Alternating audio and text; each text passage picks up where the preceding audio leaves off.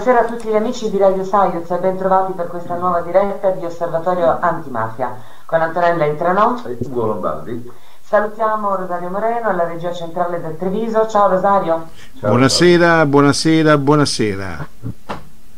Salutiamo Massimo Bonella, editorialista di Pianeta, Pianeta, Pianeta Oggi TV.net. Ciao Massimo, Ciao Massimo. Sì, buonasera a tutti. Purtroppo è l'età Massimo, porta pazienza. E ti passeremo immediatamente la linea per gli aggiornamenti e dobbiamo indubbiamente scusarci con te per non averti dato la possibilità durante la precedente diretta di dare gli aggiornamenti finali come sempre fai. E purtroppo è stata una nostra mancanza, per cui ti passiamo subito la linea in modo che tu possa avere tutto il, il tempo e il modo di dare gli aggiornamenti ai vari comunicati stampa. Prego Massimo. Sì, grazie alle 22.03 prendiamo la linea dalla redazione di Venezia, dunque subito una notizia eh, di eh, servizio.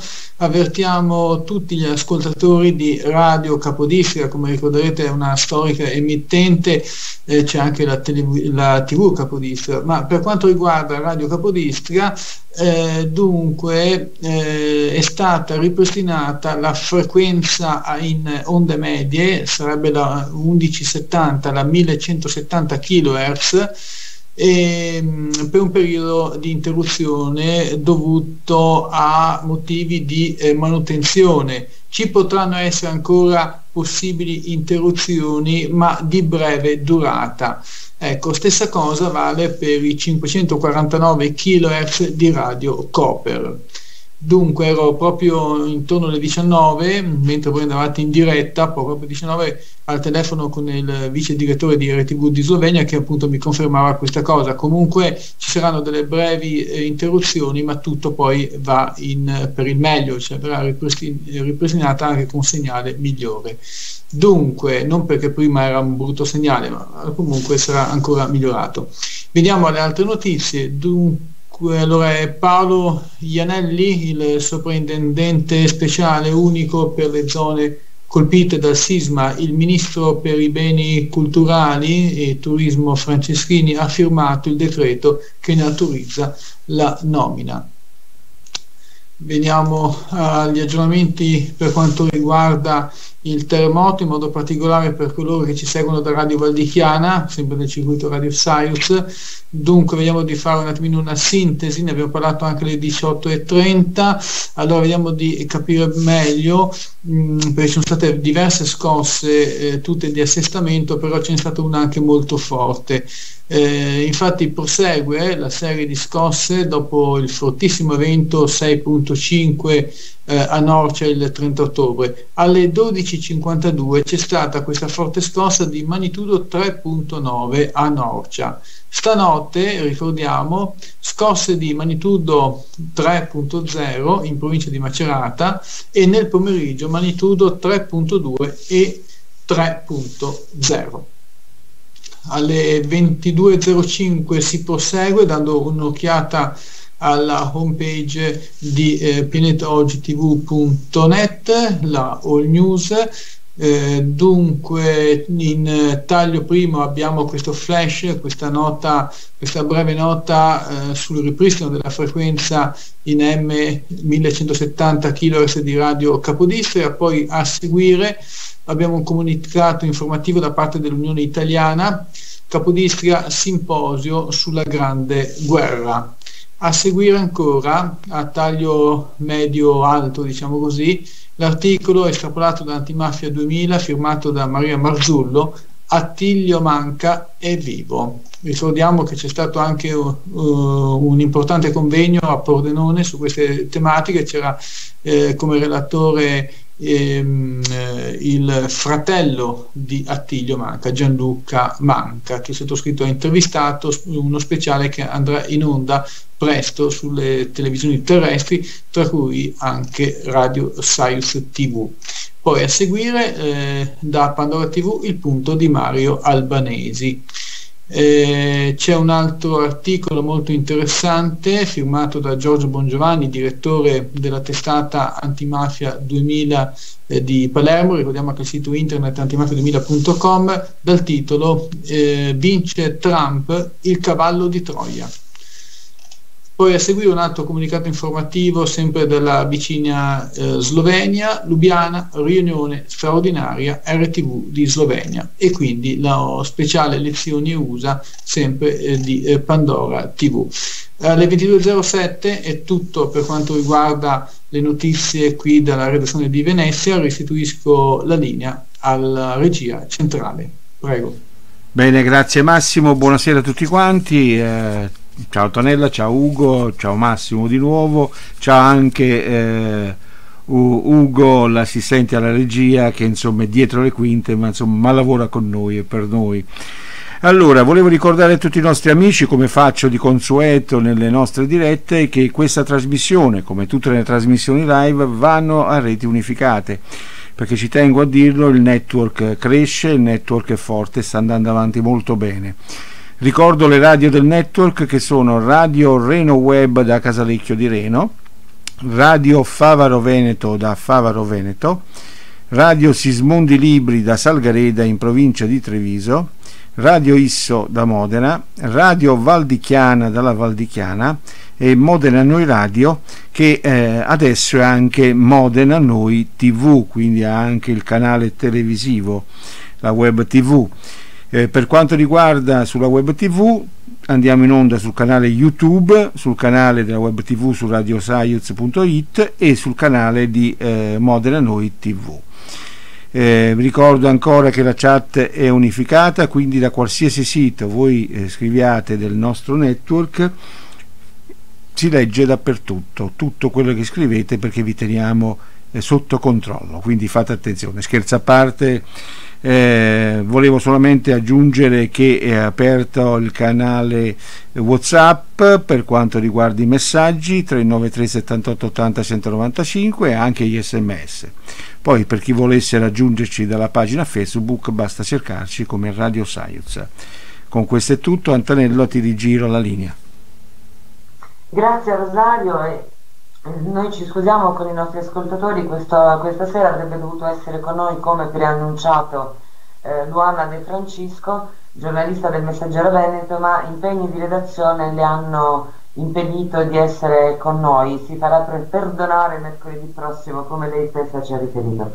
E mh, mm, avremmo voluto parlare con lei di eh, ecomafie, ecomafie che ehm, hanno visto la loro attività eh, in leggerissima eh, flessione dopo l'approvazione del reato eh, di crimini contro l'ambiente, ma che comunque rimane una delle più importanti fonti di approvvigionamento economico per le organizzazioni criminali mafiose.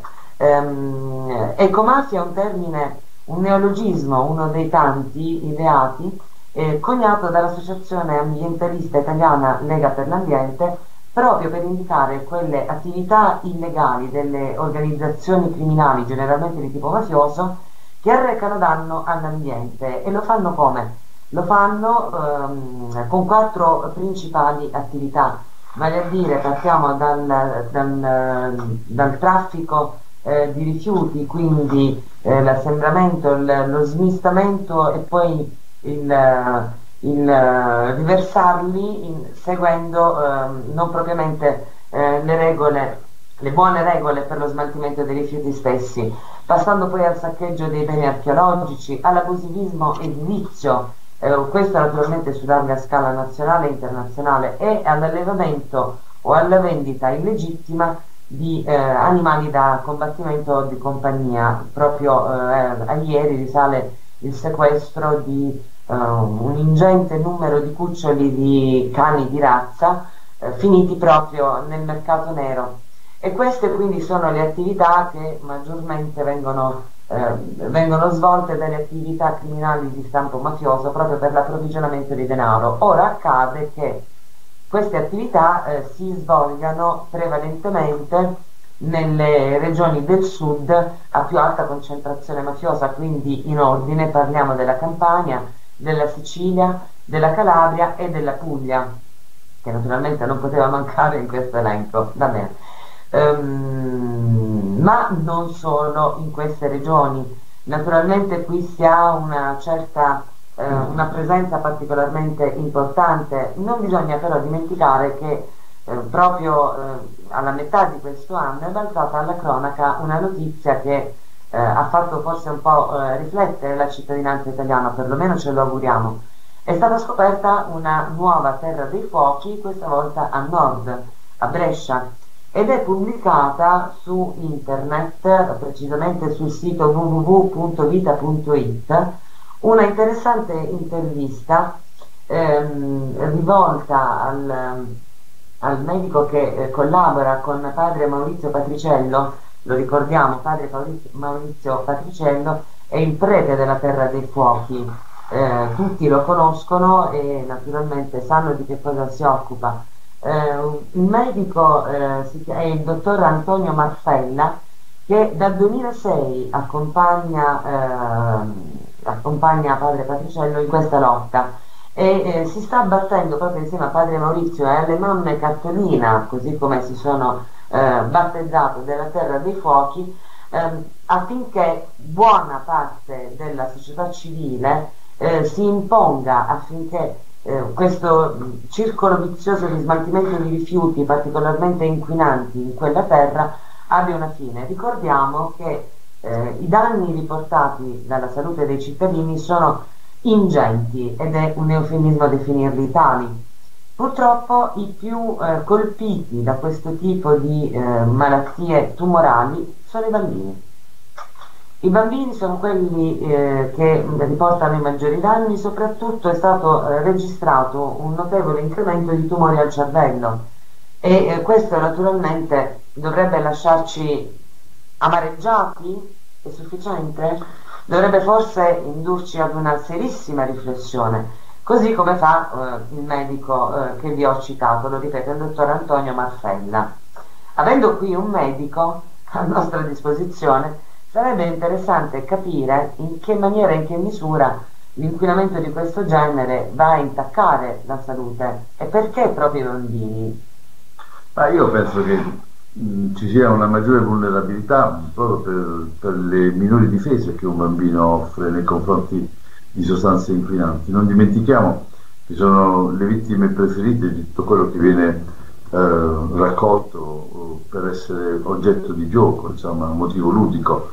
Eh, ma anche perché eh, i bambini eh, sono quelli che hanno un sistema immunitario eh, ancora in formazione, quindi anche questo rientra in alcuni fattori predisponenti, ma soprattutto l'alimentazione e quindi anche quella che viene fornita ai, eh, ai tantissimi, eh, non dimentichiamo che ci sono circa 2 milioni di persone nella zona del Caserstano, tra Casersta e Napoli, che rischiano di essere vittime di, questa, di questo inquinamento e quindi i, i, diciamo, molti continuano a, ad allattarsi, a bere, a cibarsi i cibi che probabilmente non sono del tutto eh, cibi eh, sani, quindi non dimentichiamo che lì ci sono la produzione delle mozzarelle di bufala che sono state messe in pericolo proprio la presenza di sostanze inquinanti eh, nelle, nelle, nelle, nelle discariche a cielo aperto e non dimentichiamo che ci sono nei territori, nei terreni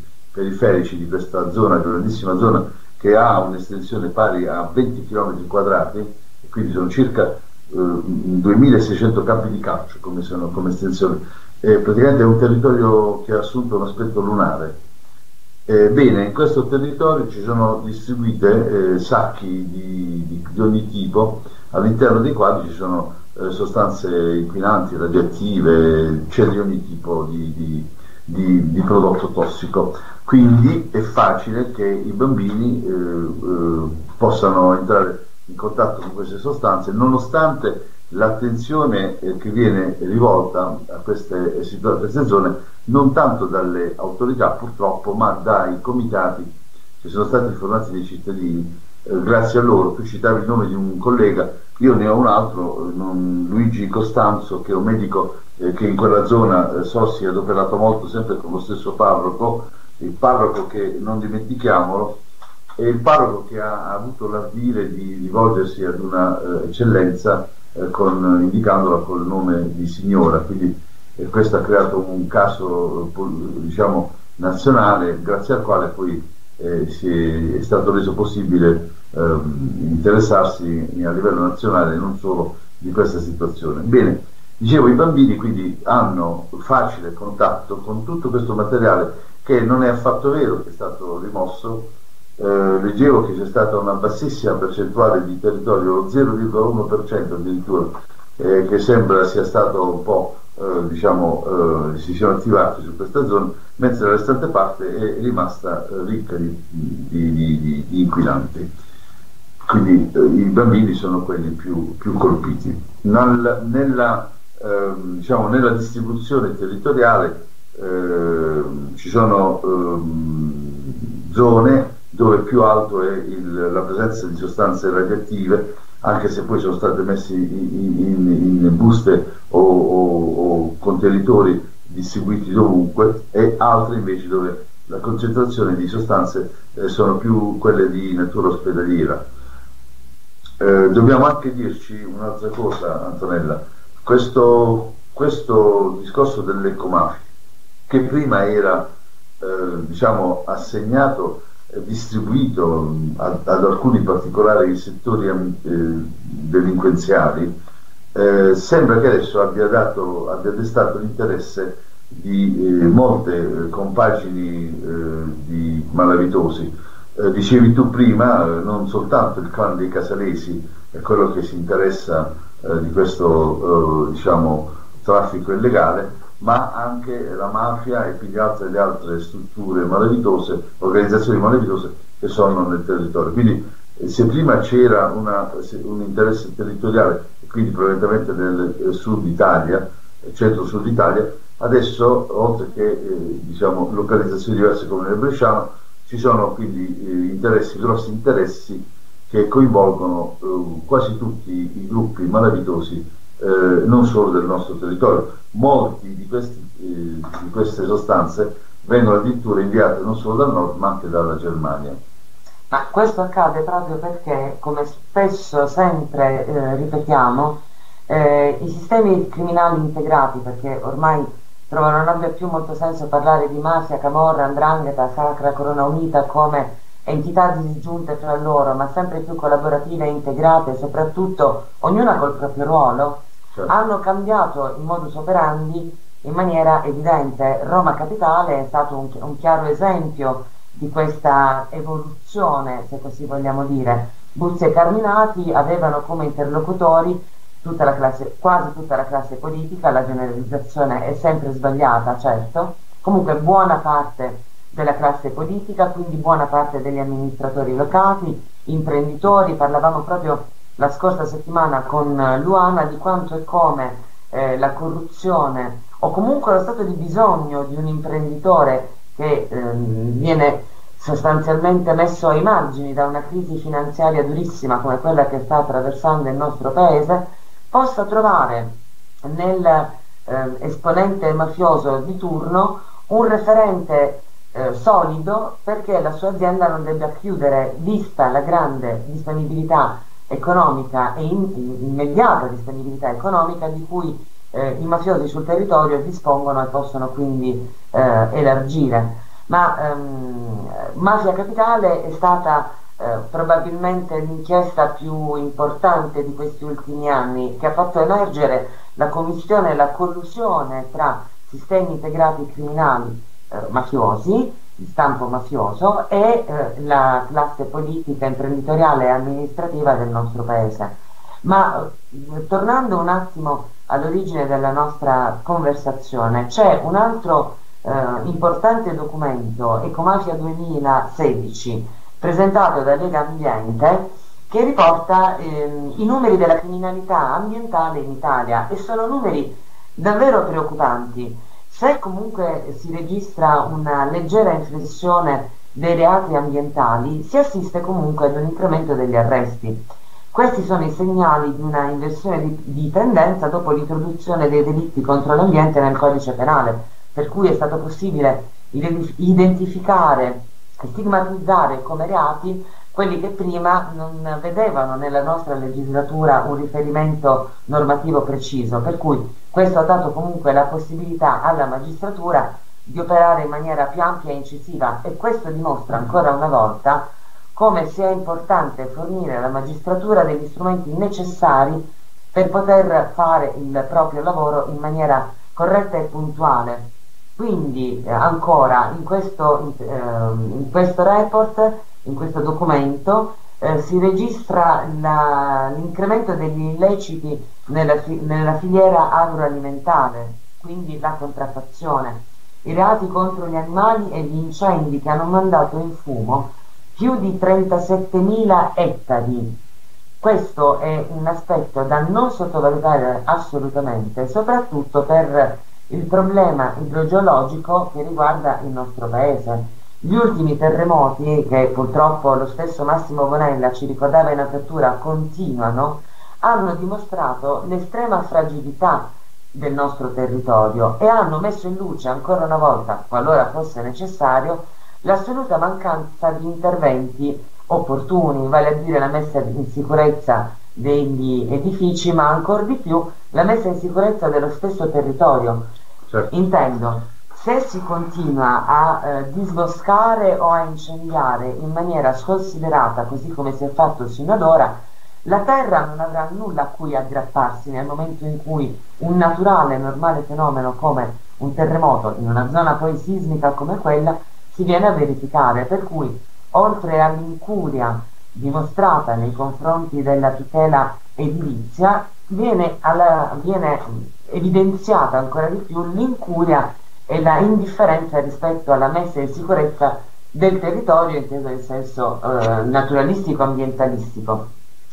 Ancora si risulta che siano in calo i reati relativi al ciclo dei rifiuti, eh, mentre eh, ehm, vengono registrati 18.000 immobili costruiti in maniera illegale, quindi anche rispetto all'edilizia c'è da prestare molta attenzione. E questo si va scusate, ricollegare al discorso della messa in sicurezza eh, del territorio. Se si continuano a costruire case sulla riva di un fiume piuttosto che sulla eh, discesa di una mont- sul, sul fianco eh, di una montagna in un territorio eh, sismico o anche non sismico ma comunque eh, non opportunamente scusate, eh, tutelato eh, si, avverrà, si assisterà comunque presto o tardi ad un disastro, che sia un disastro naturale o non, comunque la mancata messa in sicurezza e la mancata eh, vigilanza sul territorio porterà alle estreme conseguenze. Resta la mossa dell'ecomafia nel mezzogiorno. La campagna in testa alla classifica regionale degli illeciti. Il Lazio la prima regione del centro Italia, la Liguria la prima del nord. La corruzione è fenomeno dilagante è l'altra faccia delle ecomafie. La Lombardia è la regione con il numero più alto di indagini. Continua in maniera marcata il controllo degli ecomafiosi tra le aree boschive e agricole. Il business dell'ecomafia risulta comunque in calo ed è di 19,1 miliardi. 19,1 miliardi comunque è una cifra impressionante. Insomma che da Renzi alla comunità europea che dall'Italia la comunità europea. Scusate, evidentemente c'è qualche problema di allergia. Allora, eh, continuando nella lettura del documento pubblicato da eh, Lega Ambiente, si evince che nella lotta all'ecomafia e, gli, e, gli, e, gli, e agli ecoreati arrivano i primi segnali di una inversione di, di tendenza dopo l'introduzione delle leggi sui delitti ambientali nel codice penale ed un'azione più repressiva ed efficace. Nel 2015 gli illeciti ambientali accertati sono 27.745, eh, più di 76 reati al giorno, più di 3 ogni ora. Salgono a 188 gli arresti, mentre diminuiscono le persone denunciate, 24.623 per la precisione, e i sequestri 7.055. Sono 18.000 gli immobili costruiti illegalmente In calo le infiltrazioni nel ciclo del cemento e dei rifiuti, mentre crescono gli illeciti nella filiera agroalimentare, i reati contro gli animali e soprattutto gli incendi, con un'impennata che sfiora il 49%. Ora viene spontanea l'associazione tra roghi ed edilizia. Eh, ma il, il, problema è che il, la terra dei fuochi, il cosiddetto terra dei fuochi, eh, brucia più di prima.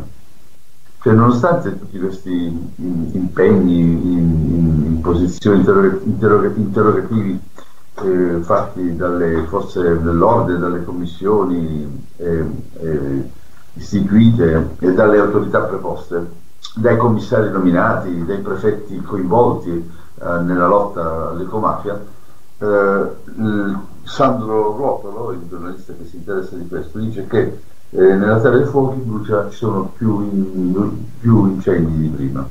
Questo significa che probabilmente anche le stesse forze dell'ordine, ma anche i vigili del fuoco, eh, anche se risultano meno incendi rispetto a prima, eh, probabilmente questo eh, potrebbe, essere, potrebbe, essere, dovuto al fatto che vengono censiti eh, meno incendi rispetto a quelli che avvenivano prima.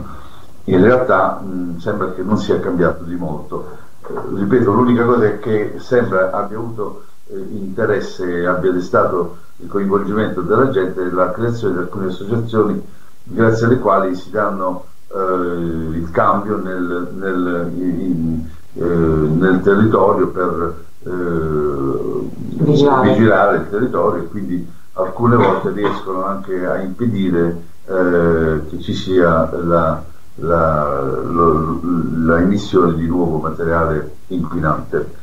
Eh, l'altro aspetto importante che bisognerebbe rilevare è che queste zone, mh, non so se le, le, chiamo in maniera esatta, Porta di Atolla, Fragore, a, a Fragora, a, a Lerra, eh, Castelnuovo, eccetera, Corvino, sono tutte zone dove eh, ci sono diciamo, delle, delle strutture eh, antiche di una certa importanza dell'antica Roma, addirittura in questi posti sembra che andassero a villeggiare eh, i romani, quindi sono zone anche dal punto di vista eh, culturale, artistico mh, importanti e hanno subito anche, anche in questo senso una, una devastazione, una distruzione. Eh, sembra quasi che nessuno si interessi ehm, di questi problemi, tranne eh, i, alcuni magistrati eh, che sembra abbiano fatto un, un, sacco, un sacco, di inchieste, un sacco di, di processi e, ehm, e, sono praticamente nella zona di Napoli e della, eh, di Santa Maria Capovetere.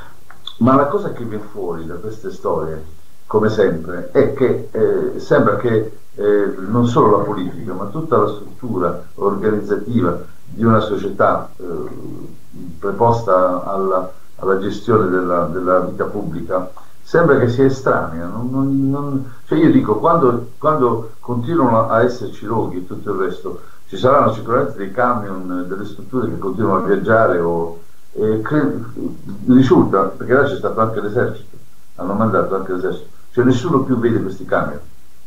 Ah, il problema è che come al solito si registra l'assenza delle, delle istituzioni e tutto quanto viene delegato, affidato ehm, alle associazioni spontanee, alle associazioni dei cittadini che sembra debba, debbano badare da soli alla tutela della propria salute, alla tutela del territorio. È un compito pesante, un compito gravoso quello che eh, viene affidato, ma pare che non ci siano alternative. Comunque un altro dato che eh, è giusto mettere in evidenza è che a otto mesi dall'entrata in vigore eh, della, legge, ehm, contro, eh, della legge per i reati contro l'ambiente sono stati contestati 947 ecoreati con 1185 denunce delle forze dell'ordine e delle capitanerie di porto e il sequestro di 229 beni per un valore di 24 milioni di euro. I clan censiti, i clan, ehm, i clan che ancora fanno da padrone ehm, a livello nazionale, sono stati 326. Quindi i numeri sono ancora molto molto importanti, è una legge entrata in vigore da poco, è un tipo di reato che ehm, diciamo non, non si fa fatica a identificare ma naturalmente necessita eh, di una serie di indagini, di una serie di accertamenti come ogni reato naturalmente. Certo è che ehm, allo stato attuale eh, emergono, emerge una cartina della nostra, della nostra nazione sempre più ehm, caratterizzata da eh, reati di questo genere e ehm, ne parleremo in maniera un po' più approfondita la prossima settimana con uh, Luana De Francisco, proprio perché è importante non solo ritornare sulla terra dei fuochi perché l'attenzione non deve calare mai, ma è importante soprattutto eh, comprendere quanto il problema non sia altro rispetto a quella che è la nostra vita quotidiana.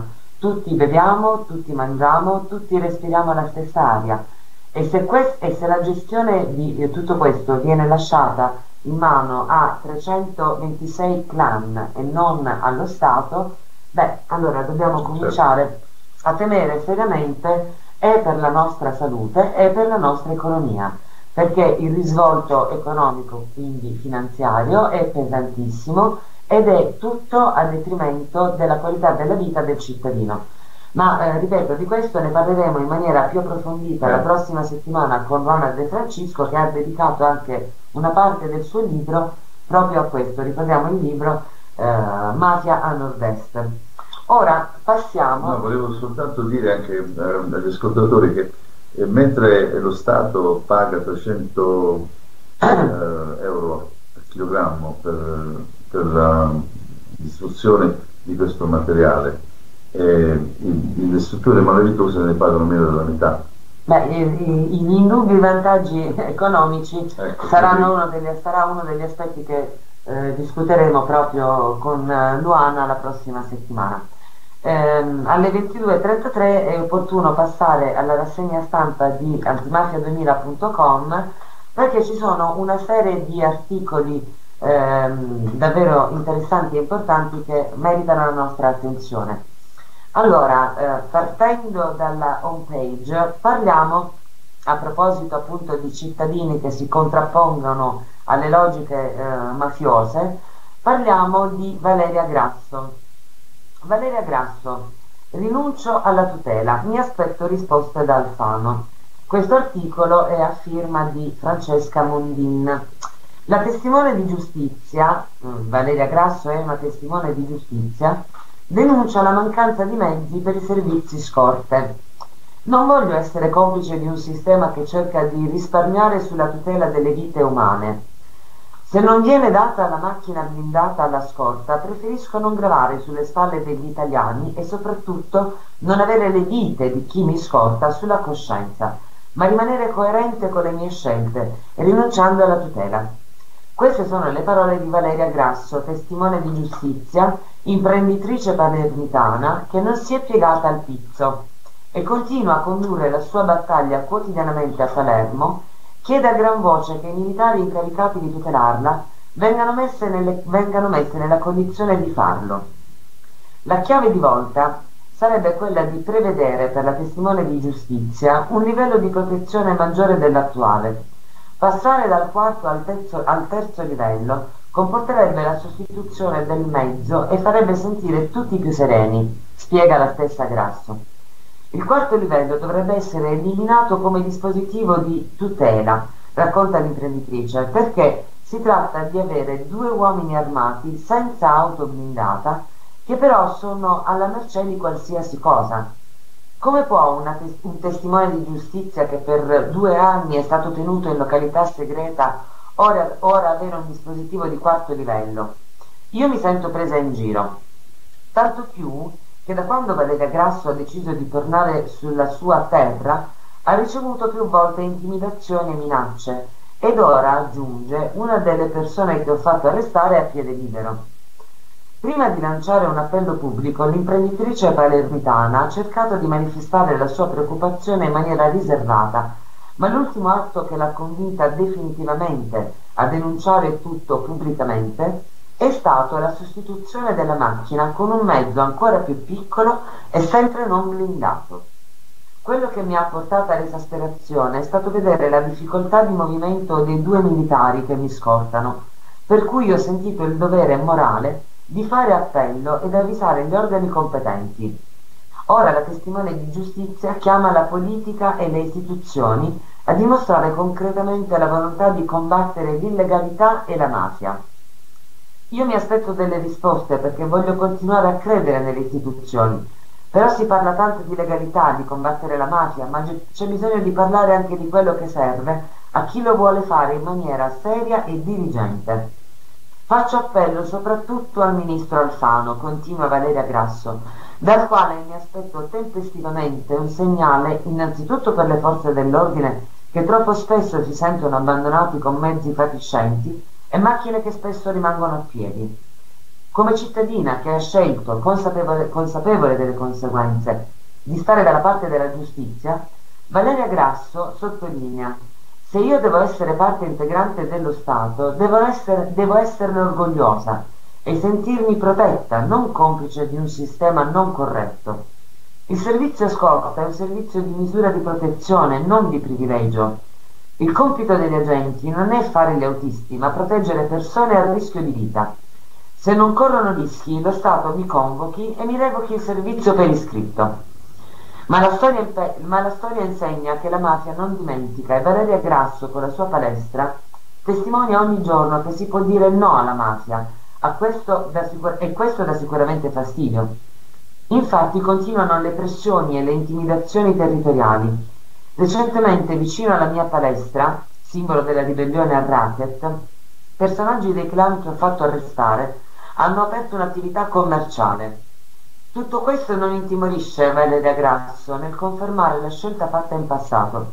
Non dirò mai che ho sbagliato a denunciare, lo, farei, lo rifarei certamente.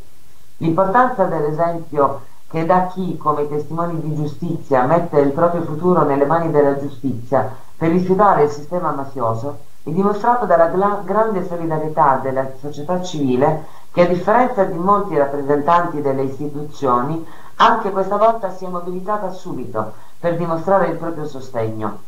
La società civile non mi ha mai lasciata sola in questi anni. Dobbiamo cercare di combattere tutti insieme e lo Stato deve fare la sua parte. Questo è l'articolo pubblicato mm, su antimafia2000.com a firma di Francesca Mondin. Io penso che l'esempio di Valeria Grasso sia un esempio per tutti quanti noi. Certo, e, e, ma soprattutto il coraggio. Io ammiro il coraggio di questa donna che eh, non solo ha fatto i suoi interessi, ma ha fatto gli interessi di tutti noi eh, ha fatto i testi di tutti noi non solo con il suo modo di fare, i suoi gesti, ma soprattutto mostrando anche a, a tutti noi eh, il coraggio, il coraggio che molti di noi non riescono a trovare per fare stesse, le stesse azioni che dovrebbero fare anche nei gesti più semplici del proprio quotidiano.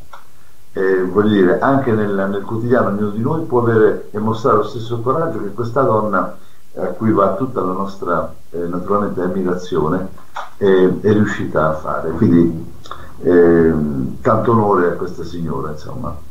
Cercheremo magari di averla come ospite in una delle nostre trasmissioni di modo che possa riportare in diretta la sua esperienza certo. e quindi essere ancora più eh, fonte di stimolo per chi comunque ancora oggi più di prima subisce le vessazioni di un sistema criminale integrato sempre più presente nei territori non solo di tradizione mafiosa ma ter nel territorio nazionale. Altro articolo che vi voglio segnalare è, eh, si intitola Cosa Nostra, Vaticano, Massoneria P2 nell'omicidio Calvi. Questo articolo è stato pubblicato l'11 novembre, novembre a firma del direttore Giorgio Bongiovanni. La richiesta di attivazione del PM Luca Tescaroli gli avvoltoi della carta stampata, in linea con il potere criminale del nostro paese, solitamente attendono al vacco le archivazioni di indagini o le assoluzioni dei processi di mafia e poteri occulti per poter scrivere che era tutto falso e annullare in un batter d'occhio le minuziose raccolte di prove dei pubblici ministeri sui fatti tan tanto tragici quanto complicati del nostro paese. Ebbene, la richiesta di archivazione accolta dal GIP di Roma Simonetta D'Alessandro presentata dal PM antimafia della Procura romana Luca Tescaroli, dimostra quanto sia superficiale ed errato arrivare a queste conclusioni di fronte ad archiviazioni di casi così complessi. Il GIP, per quanto costretto ad archiviare perché non ci sono elementi fondamentali per poter condurre a processo gli imputati, scrive nero su bianco che quello di Calvi non fu un suicidio ma un assassinio e che le analisi derivanti dalle prove raccolte dal PM hanno delle fondamenta ben precise e logiche. I fatti ci sono stati, l'assassinio c'è stato, così come i collegamenti logici tra mafia, massoneria, Vaticano e potere. È nota l'esperienza su indagini di questo spessore del magistrato Luca Tescaroli, già pubblico ministero nella strage di Capaci in primo grado e poi applicato in appello fece condannare tutta la cupola di Cosa Nostra negli anni 90. Fu pubblico ministero pure nel processo sul fallito attentato a Giovanni Falcone ad Addaura. Pescaroli inoltre ha indagato su Dell'Utri e Berlusconi come possibili mandanti esterni delle stragi per i quali i PM dovettero chiedere l'archiviazione. Nella sentenza di archiviazione di quell'indagine del 3 maggio 2002, il GIP Tona scrive a riguardo gli atti del fascicolo hanno ampiamente dimostrato la sussistenza di varie possibilità di contatto tra uomini appartenenti a Cosa Nostra ed esponenti e gruppi societari controllati in vario modo dagli organi indagati, Berlusconi e Dell'Utri. In tutti i suoi lavori ha sempre condotto le indagini in modo severo e preciso, pronto ad andare a fondo nelle diverse responsabilità, tanto che quando era magistrato nella procura di Caltanissetta il suo lavoro entrò in netto contrasto con quello del procuratore capo Giovanni Tinembra, il quale pone, eh, poneva diversi ostacoli al tentativo del PM Nino Di Matteo e Pescaroli di alzare il tiro nelle indagini. In queste indagini sull'omicidio del banchiere Calvi, Luca Pescaroli, grazie al lavoro dei colleghi Maria Monteleone e Francesco Verusio, sebbene chieda l'archiviazione, consegna comunque un'ipotesi storica dell'assassinio difficilmente sormontabile. Questo lo scrive il GIP d'Alessandro. Ricordiamo quindi l'importanza di essere molto attenti nel seguire le indagini, perché la soluzione e l'archiviazione non dimostrano che il fatto non sussiste o che quel delitto non è stato commesso. Più precisamente, possono, come in questo caso, dimostrare che i fatti ci sono stati. Nulla si è potuto eh, condannare, non si è potuto condannare nessuno perché non c'è stata la prova regina, ma i moventi e i poteri coinvolti sono stati riconosciuti dal giudice dell'indagine preliminare, quindi onore al merito al pubblico ministero Luca Pescaroli. Questo è l'articolo pubblicato su antimafia2000.com a firma del direttore Giorgio Bongiovanni. E purtroppo quello dell'omicidio Calvi, la questione P2, è um, una, una delle, uno dei tanti eh, buchi neri della storia di questo paese. Io ricordo, ricordo allora c'era un ponte, ma era così buio quel ponte. E questo ponte poi ci fu per un po', perché allora non avevano, diciamo, non c'erano ancora le limitazioni nelle riprese. Eh, mh, per un po' vidi, non so in quale in quale trasmissione vidi, si vide da lontano la, il corpo del, del, del Cavi che era, era, stato praticamente impiccato. È stata una scena molto molto brutta, ma anche quello sembrava quasi un evento che dovesse da un momento all'altro accadere perché c'era stato il precedente eh, narrato dal, dai giornalisti della fuga di Calvi all'estero e poi non se ne seppe più nulla. All'improvviso però venne data la notizia che era stato ritrovato il suo corpo impiccato sotto il ponte della, della capitale inglese. E a proposito di ponte, eh, c'è un interessante articolo eh, a firma di Miriam Cuccu che si intitola Le mani delle cosche sul ponte dello stretto. Altra trovata geniale del nostro capo di governo per invogliare eh, i cittadini di Calabria e Sicilia a votare sì al prossimo referendum del 4 dicembre. L'operazione Sansone smantella il clan dei Condello. L'andrangheta punta sul ponte dello stretto e quanto emerso con l'operazione Sansone che ha smantellato il clan Condello di Archi con 26 arresti, 23 in carcere e 3 ai domiciliari. Al centro dell'inchiesta, che conta oltre 40 indagati, gli interessi dei boss per le trivelle necessarie alle opere propedeutiche al ponte che collegherebbe Calabria e Sicilia. Uno dei soggetti coinvolti in Sansone, l'inchiesta, appartiene alle forze dell'ordine e avrebbe aiutato uno dei personaggi fermati con il blitz di oggi, punto di arrivo delle indagini seguite dal procuratore reggino Federico Cafiero De Rao e dal PM Giuseppe Lombardo, Secondo i due magistrati, gli arresti avrebbero consentito al boss Domenico Condello di sottrarsi alla cattura per oltre vent'anni. I reati contestati sono, a vario titolo, associazione a delinquere di stampo mafioso, estorsione, detenzione di armi, favoreggiamento di latitanti e procurata in osservanza della pena.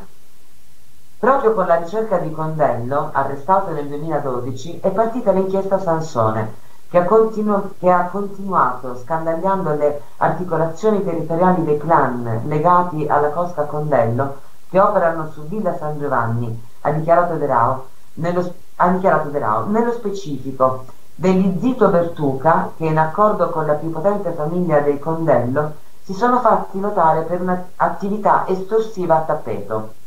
Sui cantieri la loro firma era una misteriosa mano nera. Uno degli episodi più eclatanti, dicono gli investigatori, sarebbe stato quello relativo all'incendio di Contrada Pezzo, ai danni della trivella di una ditta siciliana che avrebbe dovuto svolgere i sondaggi geologici per poi interrare uno dei piloni del ponte. In seguito l'invito degli imprenditori era quello di fare un regalo allo zio detenuto.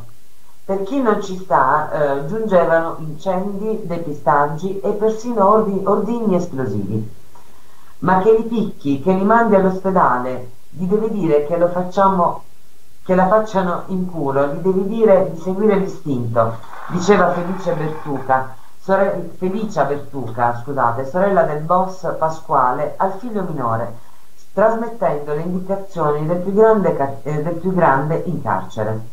Pasquale Bertuca, detenuto al carcere di Palmi, continuava a dirigere gli affari del clan grazie anche al nipote, Vincenzo Sotilaro, detto Ura Pereddu, arrestato nell'operazione di oggi e considerato il contabile che avrebbe gestito con la madre Felicia i fondi della cassa comune.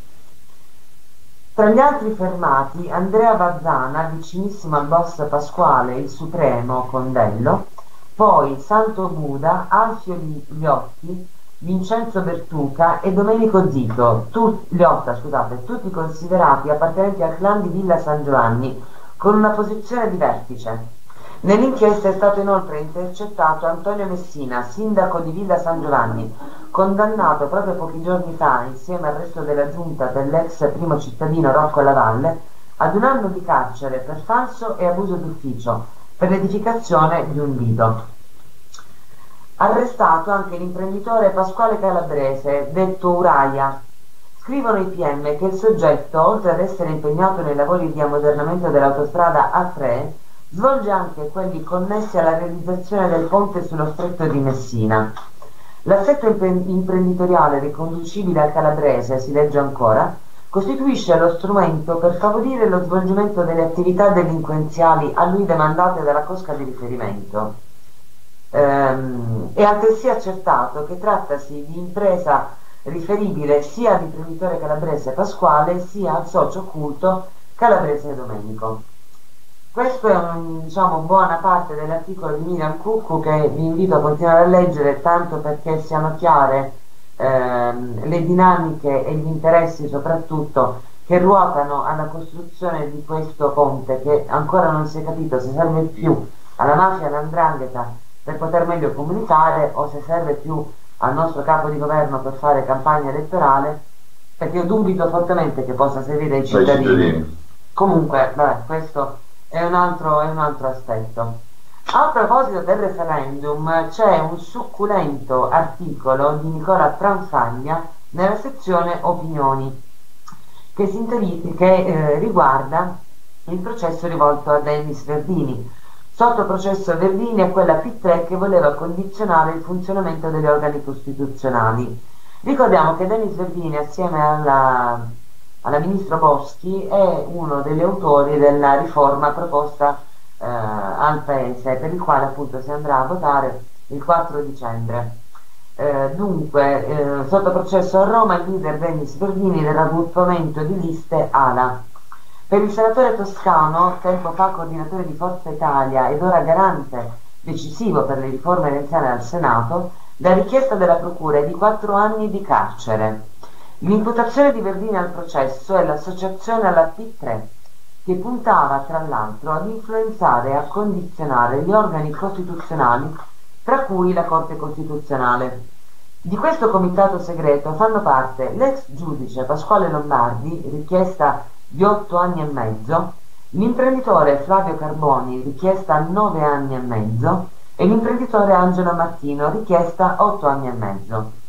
Per gli ultimi tre, promotori dell'associazione, l'accusa è associazione a delinquere per la corruzione e violazione della legge Anselmi sulle, sulle società segrete, mentre per Verdini, che era coordinatore di Forza Italia, l'accusa è di corruzione perché si sarebbe adoperato a facilitare il gruppo. Il senatore leader di Ala è imputato in altri cinque processi. Il sesto si era concluso a causa della prescrizione. In primo grado era stato condannato a due anni per corruzione nel processo per la costituzione della scuola dei marescialli di Firenze. Nel processo P3 sono finiti diversi imputati per episodi differenti tra loro. La P3, secondo l'accusa, avrebbe come scopo la realizzazione di una serie indeterminata di delitti di corruzione, abuso d'ufficio, illecito finanziario dei partiti, diffamazione e violenze private. Obiettivo della P3, inoltre, era anche quello, secondo l'accusa, di condizionare il funzionamento degli organi costituzionali. Ora, mi sembra abbastanza facile collegare le cose il tentativo di eh, influenzare il, e di condizionare il termine adeguato il funzionamento degli organi costituzionali è il prossimo referendum, quindi la prossima proposta di, eh, di riforma della Costituzione. Padri costituenti condannati o comunque con cinque processi pendenti, mi sembra un bel salto di qualità. Ma credo che interessi, interessi forse poco all'elettorato se, se, se continua ad essere così anonimo come ha fatto fino ad ora, se eh, i cittadini continuano a non interessarsi di questi problemi, credo che le informazioni almeno non, non avranno voglia di cercarsene. E invece è fondamentale perché quella che viene proposta è una riforma che riguarda larghissima parte degli articoli della Costituzione, impoverisce e toglie un diritto fondamentale al cittadino, per cui... C'è la, regioni a statuto speciale, leggevo la Sicilia, eh, non possono, i, i, senatori, cioè i, i, politici non possono essere eh, anche senatori comunque parlamentari perché c'è il proprio eh, statuto che lo vieta. Che c'è un altro impedimento questa, proprio per la Sicilia, per, per il statuto speciale, insomma, che sono cinque in Italia. A questo proposito segnalo anche l'articolo a firma di Nando della Chiesa, c'era una volta il paese che scambiò la Costituzione con la corruzione. Il titolo mi sembra già abbastanza esplicativo, non credo sia necessario di ulteriori eh, commenti. Nella sezione di La Tua eh, c'è um, un'intervista rivolta al PM eh, Nino Di Matteo andata in onda al TG2 Storia lo scorso 13 novembre. Eh, quindi per chi non avesse avuto la possibilità di eh, guardarla in diretta è possibile eh, farlo sul sito di antimafia2000.com. Il referendum del 4 dicembre negate assemblee di istituto ma non ci fermerete. Eh, da unione degli studenti.net in occasione del referendum costituzionale eh, che si svolgerà il 4 dicembre si segnala il, il moltiplicarsi di tutta una serie di iniziative ad opera proprio degli studenti, quindi questo dimostra che per fortuna i giovani sono attenti a quello che sta accadendo nel nostro paese. Eh, ancora di seguito nella sezione eh, alternativa Pandora TV eh, vive condoglianze Giulietto Chiesa introduce una vera e propria perla andata in onda su News 24 eh, La grande frana occidente, sempre di eh, Giulietto Chiesa, franano gli USA dei diritti umanisti che bombardano, la UE dei progressisti che non sanno cos'è il popolo e i bastioni neoliberali.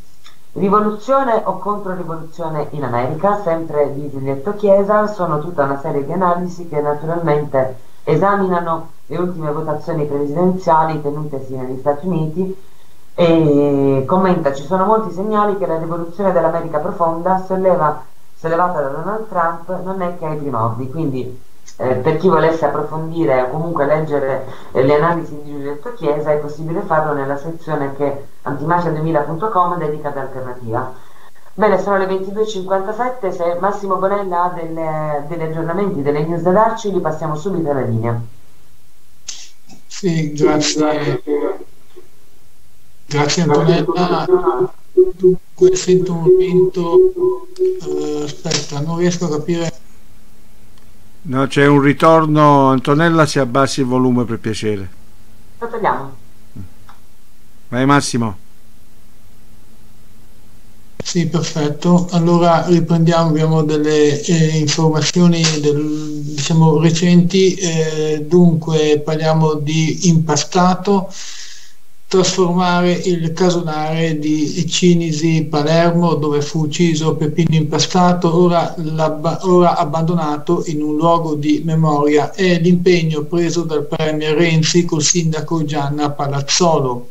Se c'è da fare un esproprio si faccia, ha detto Renzi, invitando il sindaco ad agire subito. Impastato è stato un eroe della legalità, ha sottolineato il ministro Delrio, incontrando alcuni imprenditori siciliani. Sono loro i veri eroi, ha osservato, in cui dovete aver fiducia per il futuro del paese. Impastato fu assassinato dalla mafia il 9 maggio del 78. Ci spostiamo, cambiamo completamente argomento, eh, ci spostiamo in uh, Istria eh, dai nostri connazionali, abbiamo l'Unione Italiana che ci informa lunedì scorso presso il Museo regionale di Capodistria, organizzato dallo stesso museo, eh, dalla comunità degli italiani Santorio Santorio di Capodistria, dal centro italiano Carlo Pombi di Capodistria e dalla società di studi storici e geografici di Pirano, si è tenuto il simposio scientifico dal titolo Anno 16 Aquila o libertà cent'anni tra impero e madrepatria un secolo dopo. Il simposio ha trattato il periodo, eh, con, eh, il periodo, centenario tra l'arrivo dell'imperatore austriaco a Capodistria nel 1816 e il periodo della Prima Guerra Mondiale, approfondendo il personaggio storico Nazario Sauro. Docenti universitari italiani e sloveni si sono alternati durante la giornata esponendo il contenuto dei loro studi sull'argomento. L'evento è stato possibile anche in virtù del contributo dell'Unione Italiana grazie ai fondi che lo, che lo Stato italiano destina annualmente alla CNI in Slovenia e Croazia per il tramite delle convenzioni MAECI UI UPT. Ed ora abbiamo un'altra notizia rimanendo sempre diciamo in terra istriana.